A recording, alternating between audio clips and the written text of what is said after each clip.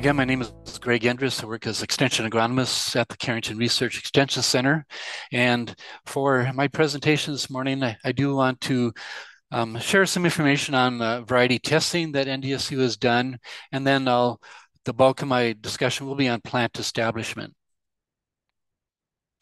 So I thought it'd be useful to show this slide. This is the pros and cons of, of uh, dry bean production. I'm not going to go through each of the bullet points, but I just wanted you to be aware, especially as a newer dry bean grower, uh, some of the um, strength of, of having dry beans in your uh, crop plans, and of course some of the challenges as well. So as you look through the, the pros, as well as the, the cons. I'll bring those up as well. Um, during the course of the morning, our speakers will be will be discussing most of these. And again, I'd, I'd want to go through all these now, but uh, just for your your information, and certainly if there's some of these factors that are not covered, uh, be sure to ask, and we'll we'll try to cover those as as well as as we can. All right, so here's the three basic subjects that I want to cover. One is variety performance. I want to discuss uh, a plant establishment table, and then I want to quickly go through some of our newer uh, publications or revised publications on dry bean production, and and also give you the the take-home messages from those. So here's a look at our the cover of our dry bean variety performance guide.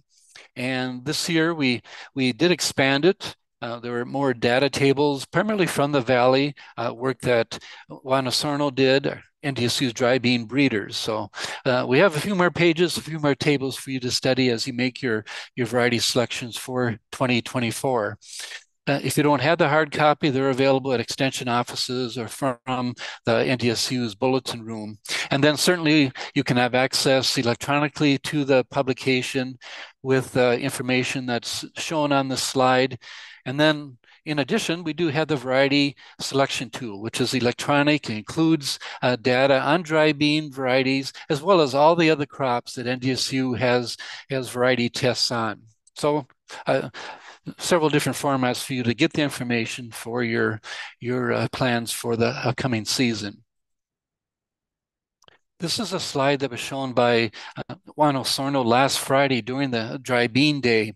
And I, I, thought I'd show it again. It's a look at the performance of selected varieties in our, our tests from this past season and just showing by percentage point the performance as compared to the trial average. And this is across many different trials. So we uh, maybe are tooting our horn, our horn a little bit, but NDSU varieties are performing very well, especially the newer release varieties. In the case of pinto beans, uh, black, navies, uh, and kidneys, as well as uh, great northerns. So we're very pleased that we have a breeding program at NDSU. There's not many in the U.S. anymore, and our program is, is doing quite well. Um, in addition to the guide this year is that we do have a summary of, of uh, direct harvest ratings on pinto varieties. And so we do this visually in the field. It's done at, at Carrington, both in the dryland and irrigated trials.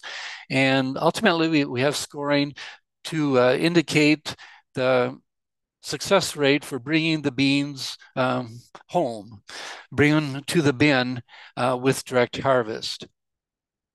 And so here's a look at the chart that we that was new that we added this year.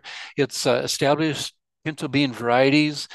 Um, it's combination ratings over either four or five years under the dryland irrigated environments, and then the nine-year average. So we hope this will be something useful if you're considering direct harvest, and that's becoming uh, more and more common. And as you consider other characteristics of varieties, this information should help you make a, um, a decision about about uh, direct harvest. And of course, we do have many of the newer varieties that we have limited numbers on those. If you look in the guide, you'll see um, the Carrington data from this past season, both dryland and irrigated. We include some of the newer pintos, such as uh, ND Rodeo. And we also have uh, information on other market types and the corresponding varieties. So I hope you'll make use of that information. And this was my first attempt to be the lead author of the publication. And there's always things I wish we had um, include, included. And so this is my wish list that we hope will include in the future. One is uh, we do have a fair amount of SCN, soybean cyst nematode tolerance based on market classes and varieties within those. And Sam Markell, when he gives this presentation, uh, he does plan to show a slide that, that highlights that information. And then another bit of information relating to disease is that we do have a limited database on, on bacterial blight ratings. As one example, here's a, a look at um, some limited test results by NDSU on common bacterial blight for pintos, blacks, as well as navies. So it would just seem logical that having this information in the variety guide would be very useful to, to consider the whole scope of factors as we choose varieties. All right, let's next move to plant establishment. That'll be the balance of, of my discussion. And if you've heard me talk about soybeans, I've very likely displayed a, a, table that we've compiled over the last decade or so, just looking at some um, important plant establishment factors. And then about this time last year, I thought it'd be really important to do this with dry beans. So we, we did this. We have seven factors present, primarily on pinto beans, but as noted, we do have some information for black and navies. And what we're after here is, is uh, if a person is starting with the factors under option B column, uh, we'd encourage you to consider going to option A because of, in many cases, a significant yield increase. And it's listed by percentage and it's based on the trials that are listed and conducted essentially across the state, but primarily in the eastern part of the state and over the last two decades, actually. So the factors that are listed that have bold print are, are those factors that we'll um, at least briefly discuss during the course of the, the morning's agenda. And then as an example on how we apply this, uh, let's consider plant stand. This would be for pintos. Of course, the long-term recommendations for wide-rolled pintos was to establish an early season stand of about 70,000. But in our recent work, we found average over three trials that uh, there was about a 5% yield increase by bumping that, that population up in combination with having narrower rows. So being in the mid 80s, 80,000 for plant population um, gave us uh, increase in, in yield potential. I also want to mention that being an option A isn't the ending point, especially for some of these factors like plant stand or even row spacing, because uh, you can still fine tune plant stand most certainly based on a farm or field and all the other characteristics that you consider, such as varieties and soil characteristics, etc. And then one final point about this, this uh, table is that there's some that are, I have slightly grayed. That means that uh, the yield was similar or there's very minimal um, yield increase. And so just take a look at those. Um, as an example, uh, with planting date. We, we did some work, actually six trials where we looked at various planting dates. And in general, we didn't see a, a, a, decline in yield by planting earlier than normal. And by normal, I mean the last 10 days in May and the first week or so in, in June. But keep in mind that we did not test the slow darkening varieties. And I know initially there was some concern that they maybe have a little less vigor and with cooler soils that might um, enhance that that concern. So anyway, I want to make that comment. The grade factors of those to uh, scrutinize a bit. So with that, I'm going to move on to other information. So I'm actually on the third bullet already, and that is to look at some of our, our newly revised or brand new production guides on uh, dry beans and give a, a quick summary relating to those. So this is uh, the 2022 season dry bean grower survey. You might be pleased to hear that there's no survey in 2023. So this guide is, is in my opinion, very useful. It's good for new growers, certainly good for experienced growers. Uh, there's lots of details in there to help fine tune uh, dry bean production. In addition, it's useful for we at NDSU for educational programs as well as for identifying maybe some, some uh, opportunities in, in research. So a real concern in dry bean production is soil erosion. And so these, there's one picture that shows erosion of a conventionally tilled field, and another one where there was significant plant injury due to wind damage on a conventional tilled uh, field of, of newly emerged dry bean. And so we'd sure like to minimize both of these, these uh, negative factors. And we can do this, um, of course, with reduced tillage as well as maybe use of cover crops. So I'm going to talk a little bit about those. Uh, this was from the survey in, in 2022. We asked growers about what tillage system they use, and the majority, about 75%, said that they are using the conventional tillage system. In parentheses is the 2018 data just to see the changes, but there really weren't any. So we would certainly like to see more of the conservation tillage.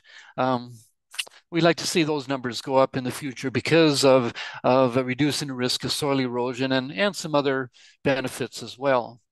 Um, at Carrington, we did do some some comparison of tillage work with dry beans, with pintos, including a fall strip till. We found that the response to dry beans with fall strip till was similar to the yield response with conventional till.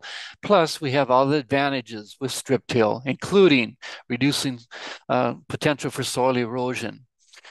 We do have a publication on strip till that gives um, a lot of the general information and also has information on, on dry bean performance as well as other crops such as corn, sugar beet, sunflower, and soybean. So check that out if a strip till would be something of interest to you. And then we have done work at Carrington with uh, winter rye as a preceding cover crop before pintos. And uh, we did this for reasons I've already mentioned. Reducing soil erosion might help with, with uh, managing um, excessive soil moisture in soil. Certainly may help us add another tool in the weed control toolbox. And so we tried to answer some of those basic questions that are listed. And I'm going to show you the slide the next slide will show information about the yield and rye termination timing. With weed control, we found that if the, rye, the rye is allowed to grow until planting time, and in this, in this case, with the study, we always plant in late May, early June, and the rye performed as well in suppressing weeds such as foxtail and kochia as a pre-emergence herbicide. However, there is a restriction with that, and the rye did use topsoil moisture that that uh, caused some challenges with with correctly establishing the dry bean. And I'll bring that up now in this next slide. So here's an average over four years of yield with uh, the various treatments as compared to the conventional system check.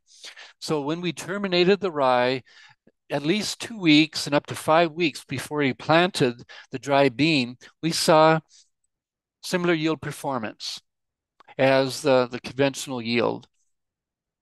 So that was good news, along with uh, proper management. But notice that when we um, delayed the termination of the rye until planting time, we planted green. That was good for weed control and protecting the soil. But uh, during the years of the study, we always had relatively dry springs. The topsoil dried out with allowing the rye to grow up to planting time. And that was detrimental for having a, a quickly and and uh, adequate plant stand of the dry beans to the order of we lost yield of at least 20% when we delayed the termination of rye at planting time. So that's a real quick summary of what we found. If you want details, yes, we have a publication on that. All right, dry bean rolling. Um, in our grower survey, uh, this was from 2021. Um, we asked people, uh, did you roll or not as part of your dry bean production strategy? And about a third of the people did not. Of those that replied, they indicated that the most common time was pre-emergence rolling right after planting. And we've relied on the Canadians for some information to see how, how dry beans perform. This is uh, data from Manitoba, a very simple trial where they looked at no rolling and compared it to rolling right after planting or rolling after the plants had emerged, about a week after. And so, as you suspect, if we roll when the plants are up, there's going to be some damage. But what's interesting is the plant density and more importantly, the yield was not affected by the rolling timing. But I've always wondered why don't we have data in North Dakota? But finally, this past season, we have some. And it was a study spearheaded by Dr. Joel Ikley. And Joel will be on a little later this morning to talk about uh, the study where we looked at rolling and the interaction with the application of pre and post herbicides. So I'm going to talk just very briefly about the plant response to rolling, and Joel talked about the, the weed control results. So in these pictures, uh, I took these right after we, we rolled with the, after the plants were up. We rolled at the V2 stage, and as you can imagine, uh, we had uh, plants that were pushed over, and in numerous cases, we had plants that had split or or uh, even worse, damage to the stems and, and other parts of the plant. So here's a, a, summary of what we found on, on pinto injury. We had none when we rolled pre-emergence, but when the plants were up, we did have mechanical damage, and there were two sites in Cass County that had relatively minimal damage with post-emergence rolling. At Carrington, we saw more, anywhere from about 20 to about a third of the plants that we investigated did have some type of mechanical injury.